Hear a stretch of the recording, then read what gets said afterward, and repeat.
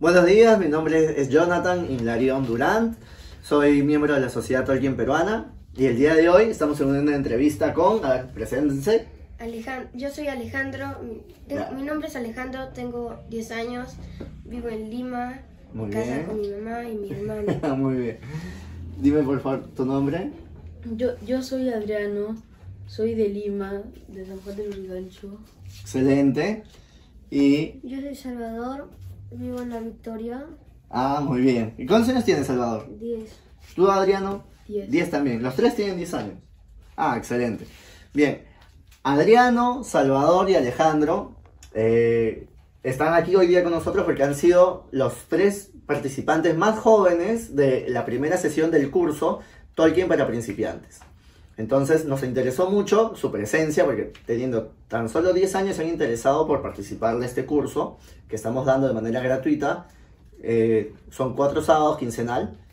La información está en, la- en las redes de la Sociedad Tolkien Peruana. Entonces vamos a empezar un poquito.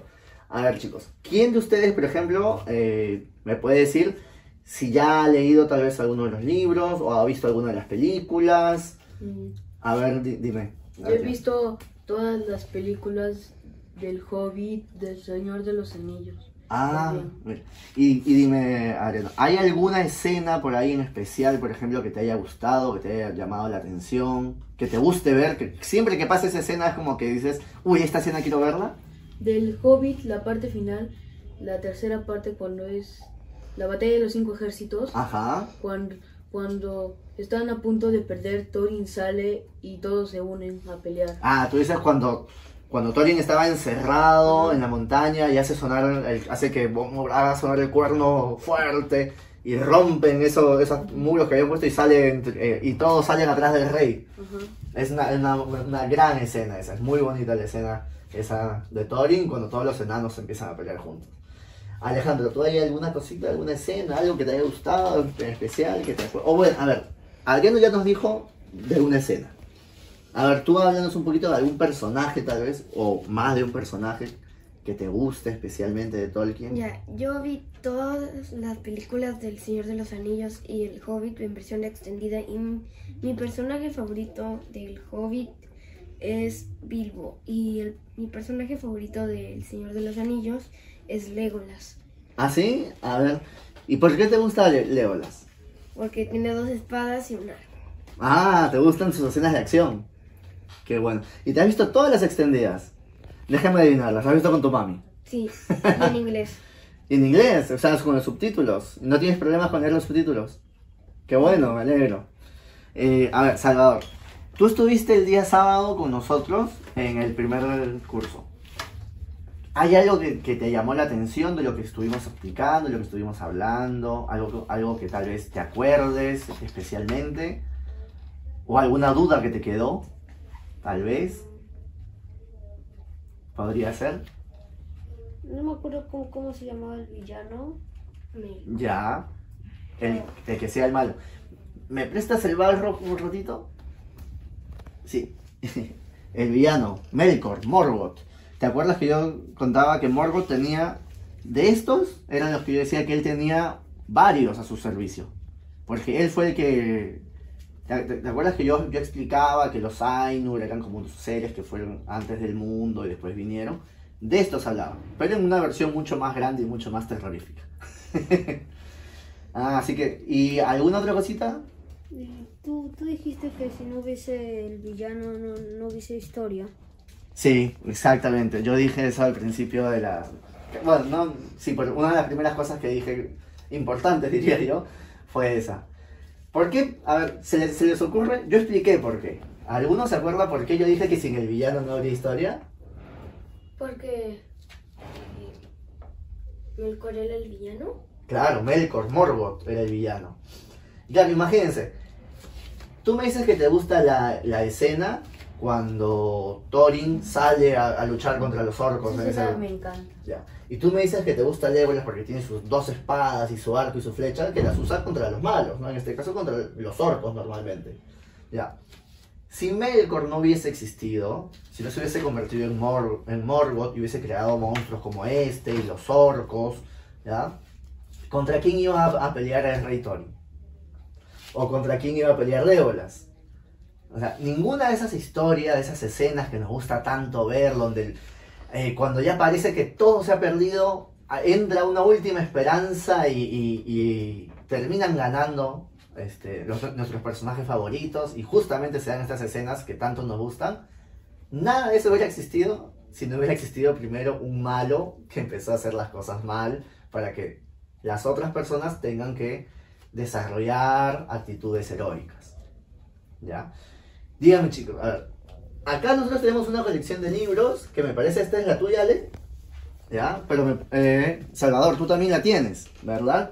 Y, eh, díganme, ahora que ya tienen su colección, ¿hay algún libro, por ejemplo, que ahí que, que ustedes digan, tal vez yo voy a empezar por aquí? ¿Alguien les ha explicado, tal vez, por dónde deberían empezar con su colección de, de Tolkien? ¿O todavía no?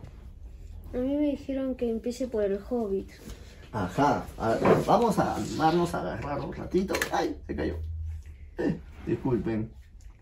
Ahí está.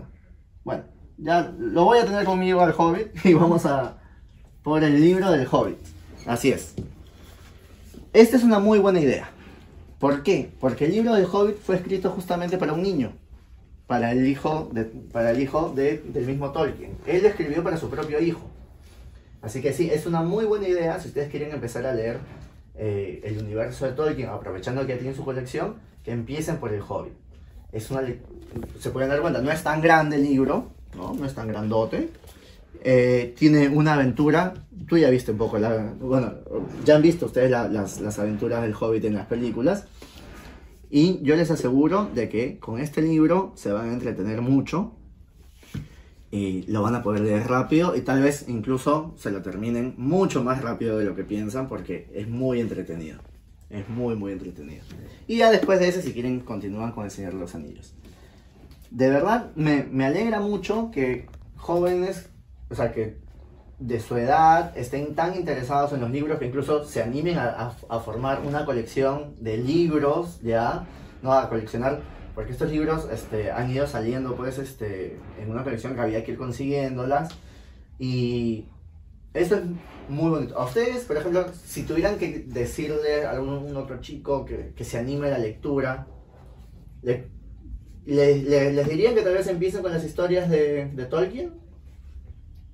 Ustedes que ya más o menos conocen un algunas historias de Tolkien.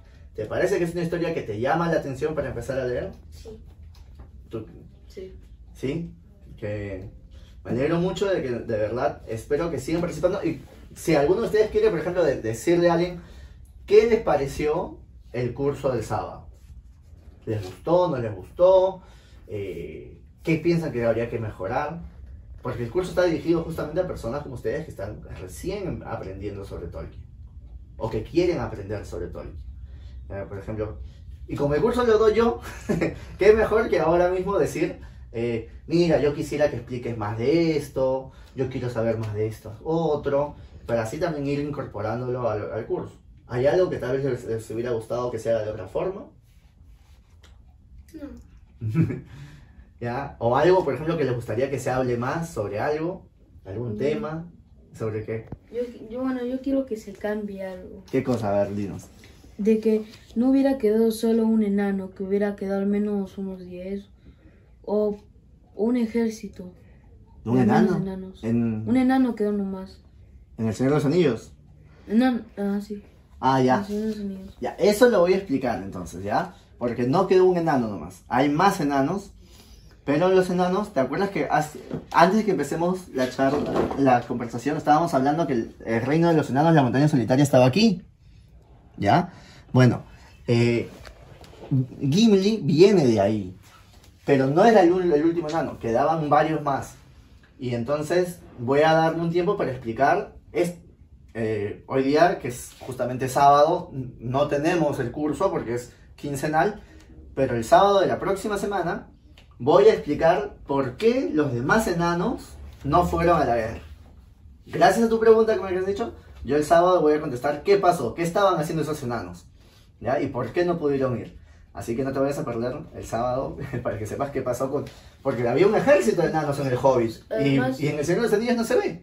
Solo vinieron porque Tony los llamó a pelear con los elfos. Ujú, Sí, porque sí, se sí. odiaban.